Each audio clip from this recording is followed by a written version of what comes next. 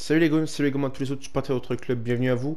Encore une journée avec du mouvement, ce coup-ci c'est plutôt euh, une journée un peu sans, on va dire, au niveau des, des parce qu'on prend une petite claque, surtout au niveau d'Amari Traoré, on va en parler.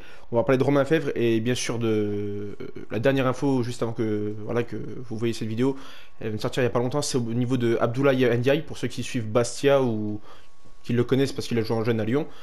Là, il a été prêté à Bastia et euh, du coup, il a reçu une offre de Bastia pour le, récupérer. Et voilà, Lyon l'a refusé, mais je vais un peu plus développer sur lui juste après. Donc, on va rappeler ces trois joueurs-là. Avant ça, les gars, n'hésitez pas à vous abonner, à liker, à partager, à commenter. Je compte sur vous, les gars. Merci pour tous ceux qui le font. Et vraiment, n'hésitez pas pour tous les nouveaux. On va commencer cette vidéo avec Romain Fèvre.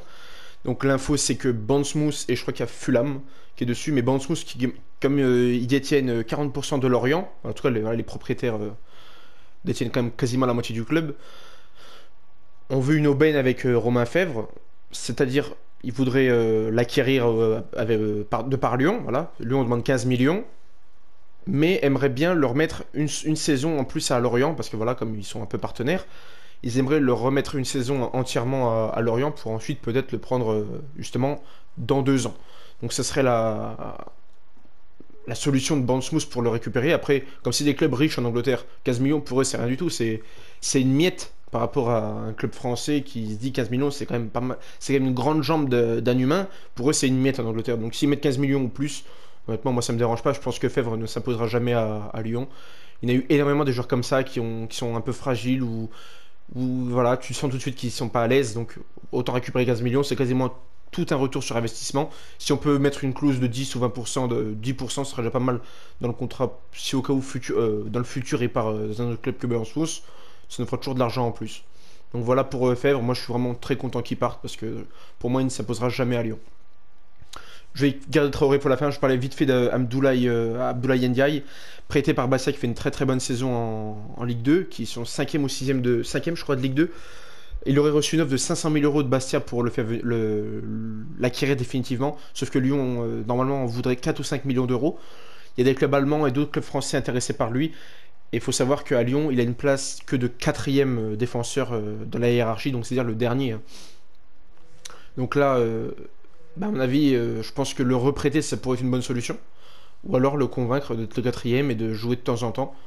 Après, ça, c'est comme le joueur veut et comme le club voudra euh, faire euh, en fonction de l'avis de, de NDI. En tout cas, je compte pas en rajouter sur ce dossier-là parce que c'est un petit peu un dossier complexe parce que est-ce qu'il voudra être quatrième et prendre de l'expérience? Est-ce qu'il voudra encore s'aguerrir autre part, partir définitivement ou en prêt? Ça, je vous tiendrai au courant dans une prochaine vidéo parce que là, il n'y a pas eu non, plus énormément d'infos. Juste l'info Bastia, à mon avis, partira jamais à Bastia parce que 4 ou 5 millions, c'est énorme pour des clubs de Ligue 2 qui, eux, généralement travaillent avec des 500 000, 1 million d'euros euh, par joueur. Donc, euh, si lui, on veut 4 millions, bah, ça fait quand même beaucoup pour un club de Ligue 2. Pour terminer cette vidéo, on va parler d'Amari Traoré. Hier, vous avez, vu mon, vous avez vu mon enthousiasme. Beaucoup de monde avait dit que ça allait être quasiment fait, etc. Au final, un a dit que ça allait pas se faire. Après, ça a enchaîné. Foot Mercato a pris. Euh, un petit peu la température au niveau de ce dossier-là, et à ce qui paraît, il n'y a pas du tout d'accord. Voilà, c'est très très compliqué, à moins d'un retournement de situation extrême, d'après eux.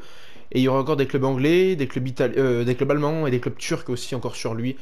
Il ira au plus, cher, hein, au contrat le plus cher à mon avis, donc ça va être dur. À moins que Taystor sorte le paquet au niveau du salaire pour le faire venir, après on verra. C'est à lui de voir euh, son challenge, le challenge qu'il veut Marie Traoré. Donc euh, voilà, s'il veut aller dans les clubs turcs pour se perdre là-bas, il fait ce qu'il veut. C'est pour moi d'aller en Turquie, voilà, c'est pas non plus euh,